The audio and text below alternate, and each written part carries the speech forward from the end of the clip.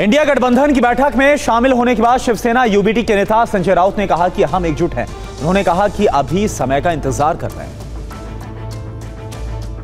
लोकसभा चुनाव में इंडिया गठबंधन को जीत मिलने के बाद घटक दलों में जोश है। दिल्ली में इंडिया की बैठक हुई जिसमें सभी दलों ने एकजुटता दिखाने की कोशिश की। हालाँकि अभी सरकार बनाने का दावा नहीं किया गया लेकिन समय का इंतज़ार करने पर सहमति बनी है। बैठक हुई है सभी हमारे जो इंडिया ब्लॉक के मेंबर्स हैं सभी उपस्थित थे खरगे साहब के घर में बैठक हुई सोनिया गांधी जी प्रियंका जी राहुल जी खरगे जी शरद पवार साहब स्टालिन साहब अखिलेश यादव जी तेजस्वी सभी थे। और हमारी जो एकजुट चुनाव से पहले रही वही आज कायम रही। हमने ये तय किया है कि हमको जो मैंडेट मिला है वो मैंडेट इस देश में जो फैसिज्म बढ़ रहा है तानाशाही संविधान के खिलाफ जो काम चल रहा है, उसके खिलाफ मिला है। तो करने वाले लोग हैं। तो हमको जब मौका मिलेगा अप्रोप्रिएट टाइम का हम इंतज़ार कर रहे हैं, तब जो पीपल्स डिज़ायर है, ये सरकार बदलने की, उस दिशा में हम कदम बढ़ाएँगे। और इंडिया गठबंधन की बैठक में कैसे तय हुआ, सरकार बनाने का दावा न पेश करने का प्लान किसने की थी ये पहल? आइए देखते हैं रिपोर्ट। इंडिया गठबंधन की बैठक में सोनिया गांधी ने यह प्रस्ताव रखा कि उन्हें सरकार बनाने की कोशिश नहीं करनी चाहिए। इसके लिए उन्होंने लोकतंत्र और चुनाव में जीती सीटों का हवाला दिया। जानकारी के मुताबिक, सोनिया के प्रस्ताव के बाद सभी दलों के नेताओं ने उनकी बात मान ली। सोनिया ने कहा, सियासी लड़ाई संसद में की जानी चाहिए। वहीं राहुल गांधी ने बैठक में कहा कि हमें अपने तेवर बनाए रखना चाहिए और जनता के बीच फ्रंट फुट पर रहना चाहिए। हमें अपने मुद्दों पर अडिग रहना चाहिए। नीतीश कुमार इस वक्त काफ़ी डिमांड में है। फ़्लाइट में नीतीश और तेजस्वी की साथ साथ तस्वीरें सामने आई और उसके बाद दिल्ली में हलचल काफ़ी मच गई। दोनों के बीच मुलाकात हुई और क्या बात हुई, ये बड़ा सवाल है। जब से लोकसभा चुनाव के नतीजे आए हैं, तब से नीतीश कुमार को लेकर कयासों का बाज़ार गर्म है। पलटी मारने में माहिर नीतीश कुमार को लेकर उस समय हलचल तेज हो गई, जब नीतीश और तेजस्वी यादव कल एक ही फ़्लाइट से दिल्ली आते दिखे। दोनों चाचा भतीजे पहले आगे पीछे बैठे नज़र आए। आप वीडियो में देख सकते हैं कि नीतीश आगे बैठे हैं और ठीक उनके पीछे तेजस्वी हैं। थोड़ी देर बाद एक और तस्वीर सामने आई, जिसमें दोनों एक साथ बैठे हुए दिखाई दिए। इस तस्वीर की गूंज दिल्ली तक पहुँची। प्लेन में तेजस्वी, नीतीश की मुलाकात सियासी गलियारों में चर्चा का विषय बन गई। इंडिया की बैठक में शामिल होने आए तेजस्वी यादव से जब नीतीश के साथ मुलाकात के बारे में पूछा गया तो उन्होंने ये जवाब दिया। नहीं नहीं सलाम दुआ हुई फिर देखी कि मेरा सीट पीछे लौट था तो बाद में वो देखे आए हैं तो हमको आगे बुलाए तो हम आगे चले गए। तो कुछ बात हुई पॉलिटिकल बात अब अब ये सब छोड़िए ये सब समय पे बात किया जाता है ये सारी बातें बाहर नहीं बताई जाती। हालाँकि नीतीश कुमार ने कहा कि वो एनडीए के साथ हैं लेकिन नीतीश के बारे में हमेशा ही कहा जाता है कि जिधर सत्ता उधर नीतीश कुमार। नीतीश पलटी मारने में माहिर हैं।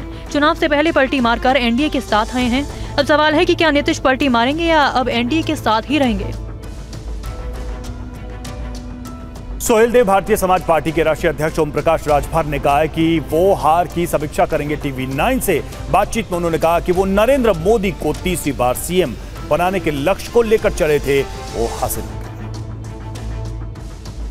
सोच समझकर आप चुनाव लड़ते हैं। क्या हो गया? कैसे देखते हैं इस चुनाव परिणाम को इस जनमत को इस जनता के जनादेश को कैसे देखते हम सभी लोग जनता के बीच में गए।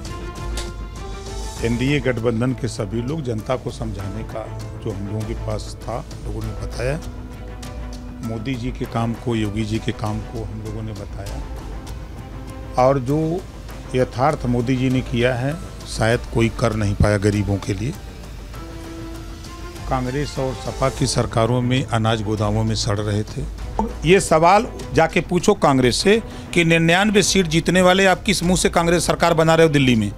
दो सौ तिरानवे सीट जीतने वाला सरकार बनाएगा कि तुम बनाओगे? मैं क्या कह रहा हूँ, हम लोग जनता के बीच में गए, जनता को हम लोग समझाने में फेल रहे, या जनता हम लोगों की बात समझने में फेल रही? आप बताओ, कांग्रेस की सरकार थी तो क्यों नहीं पाँच लाख रुपया इलाज के लिए दिया? अस्सी करोड़ अनाज क्यों नहीं दिया? गोदामों में सड़ रहे थे, क्यों नहीं दिया? अगर अच्छा काम हो रहा है तो अच्छे काम की प्रशंसा नहीं करेंगे, अच्छे काम की चर्चा जनता के बीच में नहीं करेंगे, महिला बिल तैंतीस परसेंट आरक्षण क्यों नहीं पास किया कांग्रेस सपा ने मिलके? सरकार थी। अगर उसको मोदी जी ने किया है तो हम लोग इन चीज़ों को लेकर जनता के बीच में गए।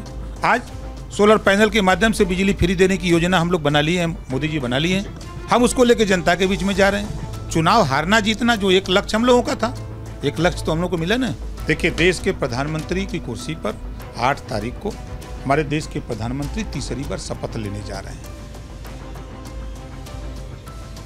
अयोध्या में बीजेपी पर समाजवादी पार्टी ने प्रहार किया। समाजवादी पार्टी के विजय उम्मीदवार अवधेश प्रसाद ने कहा बीजेपी राम के नाम पर व्यापार करने वाली पार्टी है।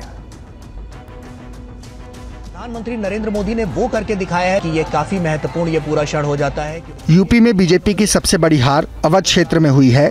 अयोध्या ही नहीं अवध क्षेत्र की 90 फ़ीसदी सीट बीजेपी नहीं जीत पाई। नज़र आए एक अनुमानित आकलन करते हुए नज़र आए और ये आंकड़े अपने आप में बहुत लोगों के लिए यहाँ के विकास के लिए बहुत इतिहास अयोध्या के 100 किलोमीटर के दायरे में लगभग सभी उम्मीदवार हार गए। अयोध्या से लेकर बलिया तक बीजेपी को भारी नुकसान हुआ। फैजाबाद में बीजेपी को हराने वाले समाजवादी पार्टी के विजयी उम्मीदवार अवधेश प्रसाद ने कहा कि जनता ने बीजेपी की पोल खोल दी है। ये ये राम को लाए हैं। राम के ला, लाने वाले लोग हैं। राम तो बहुत हज़ारों लाखों वर्ष पहले आ चुके हैं। राम तो जन जन में हैं। राम को कोई लाए नहीं है। ये तो राम को लाने वाले नहीं हैं, राम के नाम पे व्यापार करने वाले लोग ये पोल पट्टी सब खुल गई। अवधेश प्रसाद जीत को लेकर गदगद हैं और इसका श्रेय जनता को दे रहे हैं।